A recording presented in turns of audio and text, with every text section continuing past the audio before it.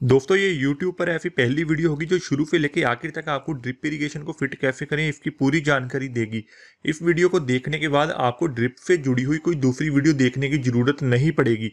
चलिए, आइए दोस्तों, आज की वीडियो को स्टार्ट करते हैं। हाँ जी दोस्तों, नमस्कार, मैं हूँ आपका, अपना दोस्त प्रपरी सिंह और सभी का स्वागत है माइक्रो इरिगेशन यूट्यूब चैनल में। आज की वीडियो में मैं आपको बताऊँगा कि ड्रिप इरीगेशन सिस्टम को फिट कैसे करते हैं। आपको दोस्तों याद होगा कि हमने एक पीछे वीडियो अपलोड की थी, उसमें हमने बताया था मिनी स्प्रिंकलर सिस्टम को कैसे फिट किया जाता है। उस वीडियो में आप लोगों ने इतना प्यार दिया कि बीस दिन में ही एक लाख से ज़्यादा व्यूज़ आए थे और वो हमारे चैनल की पहली वीडियो थी, जिसके ऊपर एक लाख से ज़्यादा व्यूज़ आए हैं। अगर किसी दोस्त ने वो वीडियो मिस कर दी होगी तो ऊपर मैंने आई कार्ड में उसका लिंक दे दिया वहाँ से वो वीडियो देख सकते हैं। तो दोस्तों आज की वीडियो में आपको बताऊँगा ड्रिप इरिगेशन सिस्टम को फिट कैसे करते हैं। इस वीडियो में आपको ए टू जेड पूरी जानकारी मिलेगी। शुरू से लेकर आखिर तक मैं आपको सारा बताऊँगा। तो दोस्तों, आप देख रहे हैं कि मेरे हाथ में इसमें एक रिंग है। इसके ऊपर हमने ड्रिपर्स लगाए हुए हैं। मैं आपको ये भी बताऊँगा कि इस रिंग को तैयार कैसे करना है। अभी आप देख रहे हैं, यहाँ पे हमने पूरा सामान उतार लिया है। ये हमारा हाइड्रोसाइक्लोन फ़िल्टर है।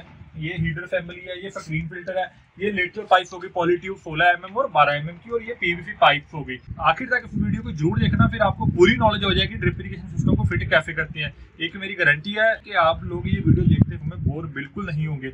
और दोस्तों, ये वीडियो स्टार्ट करने से पहले हमारे चैनल को सब्सक्राइब ज़रूर कर दीजिए और साथ में जो बेल आइकन है उसको प्रेस कर दीजिए, ताकि जब भी आप लोग ऐसी कोई इन्फॉर्मेटिव वीडियो अपलोड करें, उसकी नोटिफिकेशन आपको तुरंत आ जाए। चलिए आइए, आज की वीडियो सबसे पहले दोस्तों मेन लाइन और फम मेन लाइन के लिए हमने खुदाई करनी है। ये खुदाई डेढ़ फीट गहरी होनी चाहिए और छः से लेके आठ इंच तक इसकी चौड़ाई होनी चाहिए।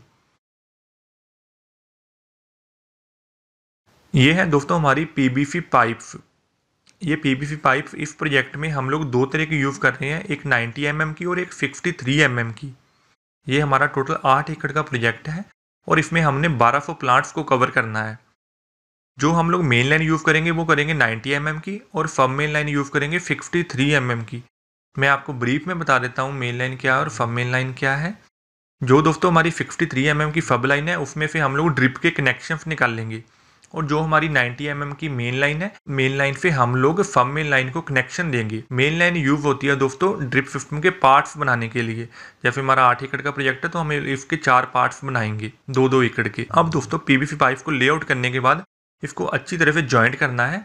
ज्वाइंट करने से पहले आप पीवीसी पाइप को साफ़ कर लें कपड़े से अच्छी तरह। और उसके बाद अच्छी तरह सॉल्वेंट लगाने के बाद इसको टाइट कर दें।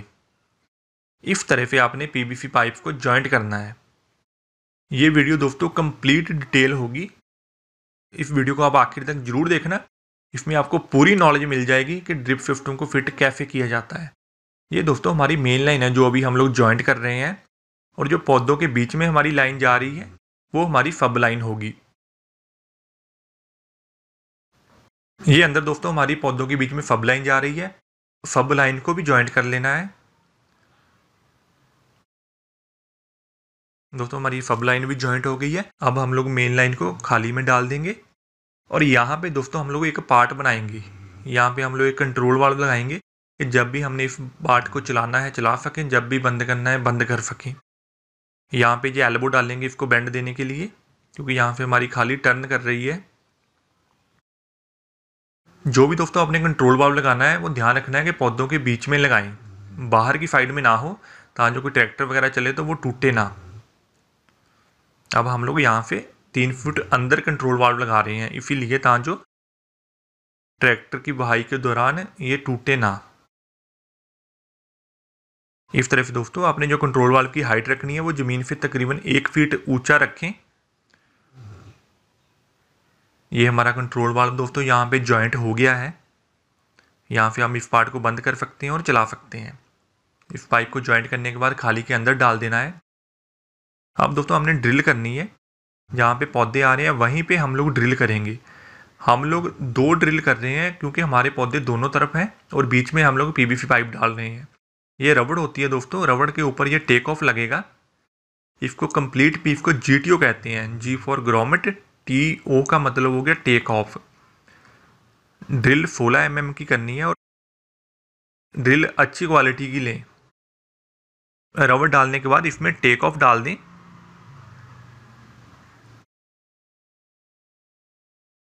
अब दोस्तों मैं आपको बताता हूँ कि इसके रिंग कैसे तैयार करने हैं। ये हमारी 12 एम mm की पॉली ट्यूब हो गई। दोस्तों हम लोग पौधे को 10 फीट का रिंग देंगे। तो हमने पहले यहाँ पे मार्क कर लेना है दस फीट मीन्स तीन मीटर तो यहाँ पे अब लोग, हम लोग तीन मीटर के ऊपर मार्क कर लेंगे। ये हमारा तीन मीटर यहाँ पे हमने मार्क कर लिया और ऐसे ही हमने वो दूसरी तरफ़ भी मार्क कर लिया। हम दोस्तों, हमने तीन तीन मीटर के टुकड़े काटने हैं पाइप के।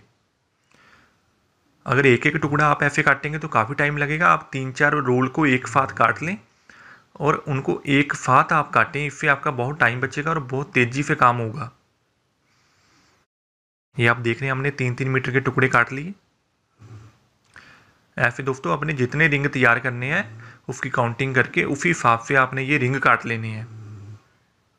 अब हमारे ये टोटल रिंग कट चुके हैं तो ये है दोस्तों टी सोलह बारह की, और ये है एंड कैप जो हमने तीन तीन मीटर के टुकड़े काटे थे, उनकी एक तरफ़ ये टी लगेगी, और दूसरी तरफ़ ये एंड कैप लगेगा ताकि आखिर से पानी ना निकले।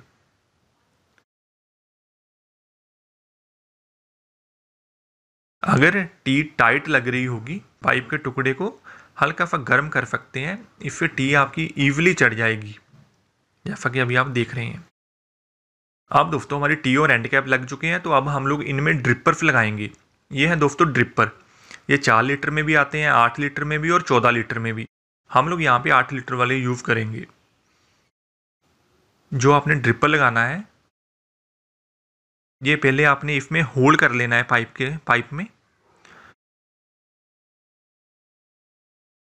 हम लोग चार ड्रिपर लगाएँगे इस रिंग के ऊपर तो चारों ड्रिपर को बराबर दूरी पे नाप के लगाना है। चारों ड्रिपर की आपस की दूरी एक बराबर होनी चाहिए। पहले आप एक मास्टर पीस तैयार कर लें, फिर उसके हिसाब से बाकी ड्रिपर्स को लगाते रहें। ये हम लोगों ने चारों होल कर लेने हैं पहले। होल बारीक करें और दूसरी तरफ़ होल ना हो, इसका ध्यान रखें पाइप में। ये हमारा ड्रिपर है ये पुश बटन होता है इसमें। तो ये पुश बटन ऐसे आपने ड्रिपर पंच कर देना आपने ड्रिपर लगा देना है ऐसे लिटल के अंदर। जो दो, दोस्तों आप ड्रिपर लगाएँगे वो चारों ड्रिपर ऊपर की तरफ़ होने चाहिए। इस बात का आपने ध्यान रखना है जैसे ये हमने रिंग बनाया और इसके तीन ड्रिपर ऊपर हैं और एक ड्रिपर नीचे है तो ये सही रिंग नहीं है। आपका रिंग बिल्कुल ऐसे होना चाहिए। चारों ड्रिपर ऊपर की तरफ़ हो। अब दोस्तों, हमारे पूरे रिंग तैयार हो चुके हैं। इन रिंग्स को हम हर एक प्लांट में देंगे। जब आप रिंग देंगे तो ध्यान रखना, टी का मुँह एक तरफ़ ही होना चाहिए। जहाँ वो आप राइट साइड में रखें, जहाँ लेफ़्ट साइड में रखें। पर सभी का एक तरफ़ हो। अगर राइट में है तो सभी का ही राइट की तरफ़ होना चाहिए।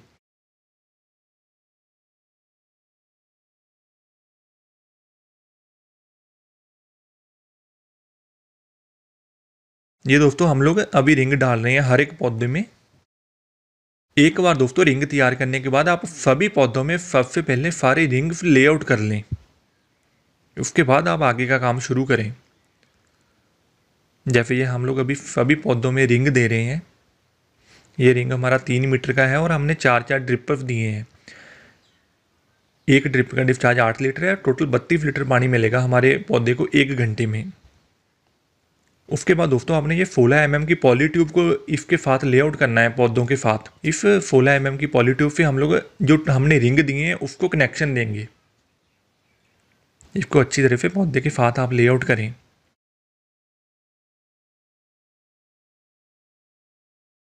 दोस्तों, चैनल को सब्सक्राइब ज़रूर कर दें और साथ में जो बेल आइकन है, उसको प्रेस ज़रूर कर दीजिए। सो so, दोस्तों जो हमने ये जीटीओ निकाले थे पाइप्स के ऊपर अब ये सोलह एम mm की पॉलीट्यूब को हमने जीटीओ में फिट करना है। ऐसे अच्छी तरह से इसको फिट करें क्योंकि ये एक बार ज़मीन में अंडरग्राउंड हो जाएगा तो फिर दोबारा इसकी रिपेयर करनी मुश्किल होगी। इसको अच्छी तरह फिट करें।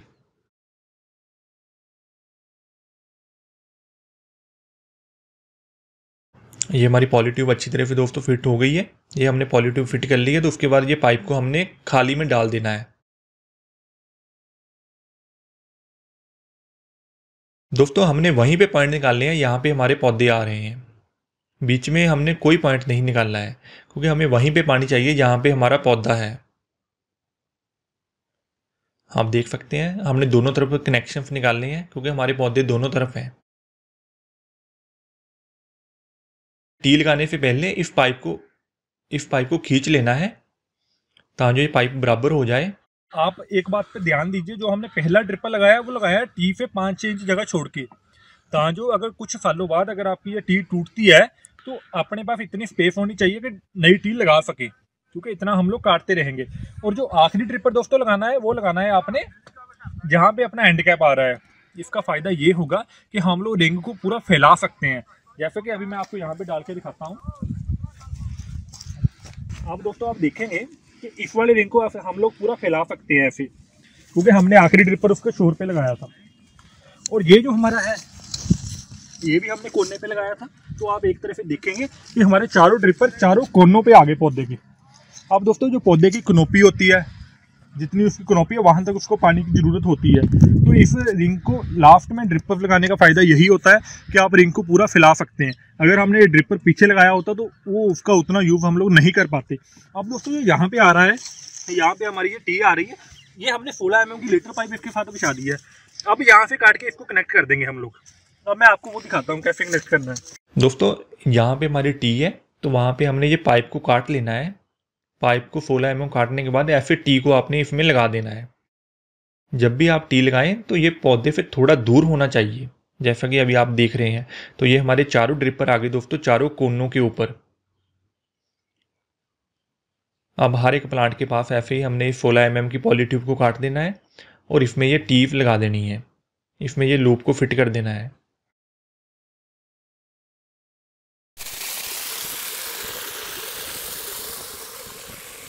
तो दोस्तों, ये है हमारी मोटर। मोटर के पास हम यहाँ पे एक टी का पॉइंट डालेंगे, जैसे ये वाली सॉकेट है, यहाँ पे बेल्ट करवाएँगे इसको। ये हम कनेक्शन देंगे ड्रिप के लिए। और ये फ्लेंज आगे बेल्ट कराएँगे। इस फ्लेंज के आगे हम लोग गेट वाल्व लगाएँगे बाईपास के लिए। इसको यहाँ बेल्ट करा लेंगे और ये टी यहाँ डाल लेंगे। तो दोस्तों, ये हमने इसके ऊपर ये सॉकेट भी बेल्ट करवा ली है और आगे फ्लेंज बेल्ट करवा लिया है। तो अब हम लोग यहाँ फिल्ट्रेशन यूनिट को फिट करेंगे। ये आप देख रहे हैं, अभी हम लोग एक निप्पल फिट कर रहे हैं इसमें। उसके बाद ये हमारा फ्लेंज आ गया। दोस्तों, फ्लैंज लगाना इसलिए ज़रूरी होता है था जो जब भी हमने मोटर खोलनी हो तो सिर्फ़ चार नट को खोल हमारा फिल्ट्रेशन यूनिट अलग हो जाएगा और ये मोटर हमारी अलग हो जाएगी। ये है दोस्तों हमारा हाइड्रोफाइक्लोन फ़िल्टर हाइड्रोफाइक्लोन फ़िल्टर का काम होता है जो भी पानी में मोटी रेता आ रही है, उसको ये छान देगा। ऐसे दोस्तों आपने फ्लैंज में इस हाइड्रोफाइक्लोन फ़िल्टर को फिट कर लेना है। दोस्तों, आप वीडियो को लाइक ज़रूर कर दीजिए। हम लोगों की बड़ी मेहनत आती है ऐसी इस तरह की एक वीडियो को तैयार करने में। ये हम लोग टेम्परेरी सपोर्ट दे रहे हैं हाइड्रोसाइक्लोन फ़िल्टर को। बाद में यहाँ पे पक्की फाउंडेशन बनाई जाएगी। ये अच्छी तरह इसके नट को टाइट कर देना है। अब ये हाइड्रोसाइक्लोन के फ़िल्टर के ऊपर दोस्तों एक एल्बो आएगी। ये एल्बो एचडीपी की होगी। ये साधारण पीवीसी एल्बो नहीं लगानी है। अब ये हमने ऊपर एल्बो फिट कर लिया। अब इसके बाद दोस्तों हमारी हीटर असेंबली आएगी। ये दोस्तों हीटर फैमिली होती है, ये ड्रिप इरीगेशन सिस्टम के लिए ही होती है, स्पेशली।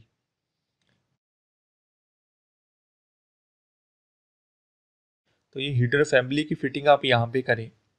हीटर फैमिली में वेंचरी के आउटलेट्स पहले से बने होते हैं। अब ये दोस्तों हमारा ये कंट्रोल वाल्व आ गया वेंचरी के लिए। अब आप देख रहे हैं, दूसरी तरफ़ हमने ये यूनियन फिट कर दी है। अगर हमने वेंचरी को खोलना हो तो इस यूनियन से हम लोग खोल सकते हैं।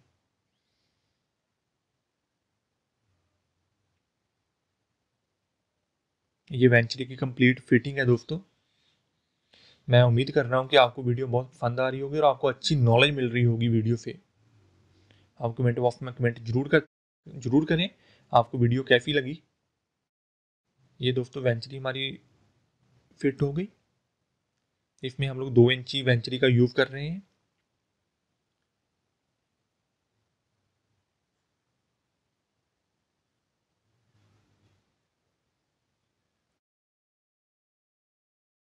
ये सिस्टम लगाने के दोस्तों आप हमसे संपर्क भी कर सकते हैं। ये हमारी प्रेशर गेज आ गई। इससे हमें पता लगेगा सिस्टम कितने प्रेशर पे चल रहा है। ये दोस्तों फ्लो मीटर हो गया। ये वेंचरी के नीचे फ्लो मीटर लगेगा। ये ए आर बी होगी दोस्तों एयर लीव वाल्व ये हाइड्रोसाइक्लोन फ़िल्टर के नीचे का कैप हो गया। ये हाइड्रोसाइक्लोन के नीचे दोस्तों फ्लश वाल लगेगा। जब भी हमने साफ़ करना है तो इस वाल्व को हमने खोल लेना है, ये साफ़ हो जाएगा। अब दोस्तों इसके आगे हम लोगों ने मोटर के आगे बाईपास वाल्व लगाना है। अगर हमने पानी लेना हो यहाँ से खुला तो हम लोग इस कंट्रोल वाल्व को खोल लेंगे। हमें इस तरह पानी मिल जाएगा। जब ड्रिप चलानी है तो ड्रिप का कंट्रोल वाल्व खोल लेना है। ये दोस्तों बटरफ्लाई वाल्व है और बहुत ही अच्छी क्वालिटी का होता है। अब दोस्तों, यहाँ पे हमारा स्क्रीन फ़िल्टर आएगा तो इसके नीचे हमने सीधी खुदाई करनी है। खुदाई आप डेढ़ फीट गहरी करें, काफ़ी होती है।